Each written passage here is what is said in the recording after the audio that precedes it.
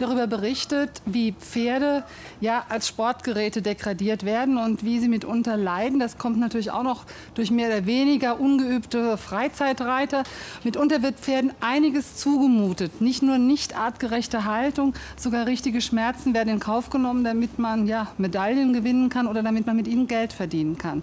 Wir zeigen, dass es auch anders geht. Wir stellen Ihnen jetzt einen Pferdehof vor, in dem das Wohlergehen und ja, das Glück der Pferde absolut im Vordergrund steht, und zwar ganz konsequent. Pferde wie Chayana haben Kirsten Kelke zum Umdenken gebracht. Die Stute ließ sich von niemandem mehr reiten. Sie war durch grobes Training traumatisiert. Die Trainerin probierte es schließlich ohne Gebiss im Maul und ohne Zwang, mit Erfolg. Ja, als ich Cheyenne bekommen habe, hat sie erhebliche körperliche Probleme gehabt, vor allem von der Muskulatur. Muskelentzündungen und konnte sich also unterm Sattel gar nicht entspannen. Wir haben dann mal zurückrecherchiert, weil sie auch so ängstlich war und rausbekommen, dass sie Jahre ihres Lebens gar nicht draußen war. Habe dann mit ihr gearbeitet und habe bereits nach einem halben Jahr im gebisslosen Reiten mit ihr schon einen Wanderritt angeführt. Und mittlerweile ist sie von der Muskulatur auch ganz locker und entspannt, dass man auch sieht, wie wichtig es ist, dass beides in Balance ist, der psychische und der physische Zustand des Pferdes, weil beides gibt sich die Hand. Chayana hat Kirsten Kelker auch bestätigt, wie wichtig eine artgerechte Haltung ist. Heute leben die 60 Pferde in der Pferdewelt Fenwegen nach dem Prinzip des Horsemanship. Alles so pferdegerecht wie möglich. Freiheit, die andere Pferde nicht kennen. Die meisten ihrer Artgenossen werden noch in Boxen gehalten. Das ist weitaus weniger Arbeit. Aber das freie Leben hier hat schon einige Problempferde wie Chayana kuriert. Horsemanship beginnt bei mir da, dass man alles berücksichtigt, was das Pferd braucht. Und das ist zum einen eine Haltung, wie wir sie hier betreiben, eine Offenstallhaltung, wo die Pferde entscheiden können, wie viel sie sich bewegen, ob sie drinnen oder draußen sein möchten, wo sie ihre Sozialkontakte ausleben können, sich kraulen können, spielen können und auch das Wälzen, was eigentlich kompliziert für den Menschen ist, das ewige Putzen, aber das ist eben das, was Pferde eigentlich benötigen. Auch im Training sollen sich die Pferde wohlfühlen.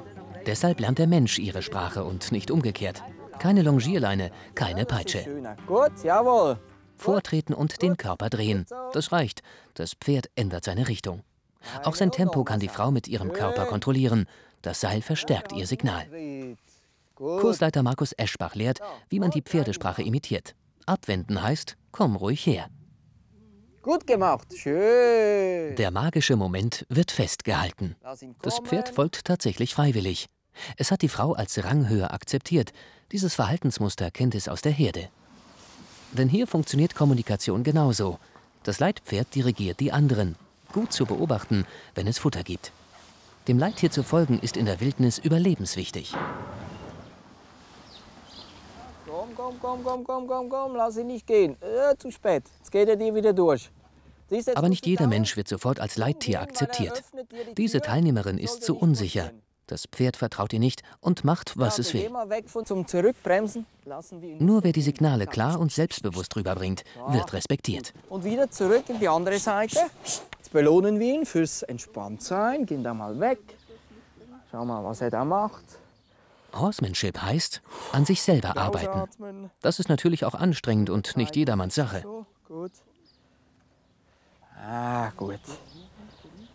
So, ja, brav, ganz gut. Ganz braves Pferd.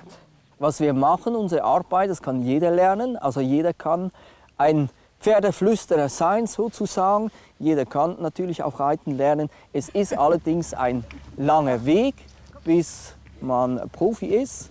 Ähm, ich sage mal, wir werden nie so gut sein, wie ein Pferd tatsächlich ist. Wir können aber nur dem Pferd zeigen, dass wir ihre Sprache kennen, dass wir es verstanden haben, wie wir natürlich mit ihnen umgehen und dass wir uns ein Vertrauensverhältnis auf gegenseitigem Respekt wünschen.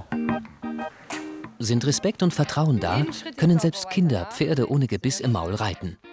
Kirsten Kelke kann sich heute nicht mehr vorstellen, Zwang und Hilfsmittel einzusetzen. Denn sie erlebt jeden Tag. So geht es auch.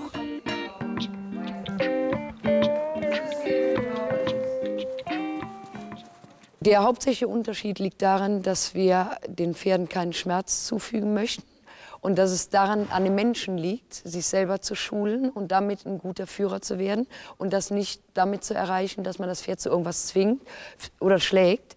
Und das merkt man eben besonders, dass auch die Kinder immer mehr die Persönlichkeit dabei entwickeln und sich mehr konzentrieren, um mit dem Pferd eben einfach da viel besser klarzukommen, mit dem Pferd ein Team zu werden. So geschult reiten die Kinder mit den Pferden sogar gebisslos ins Gelände. Manchen Eltern erscheint das vielleicht zu gefährlich. Die kann die Reitlehrerin beruhigen. Das gebisslose Reiten ist viel ungefährlicher, weil man auch mit dem Gebiss nicht wirklich ein Pferd halten kann. Ich habe das jahrelang selber erlebt, wie die Pferde durchgegangen sind mit Gebiss und habe es seit dem gebisslosen Reiten nie wieder gehabt. Horsemanship erfordert Einsatz. Und das ist die Belohnung. Harmonie zwischen Mensch und Pferd. Ja, das ist auch schon sehr beeindruckend und das ist auch ganz wichtig, denn Pferde leiden stumm, wenn sie leiden. Bei uns geht es jetzt weiter.